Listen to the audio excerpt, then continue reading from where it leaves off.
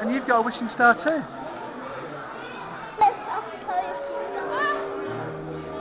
you got a wishing star?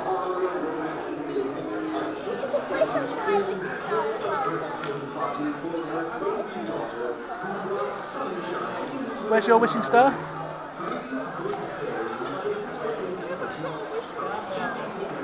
Go and steal one off Olivia. Yeah. I reckon you could ask for one.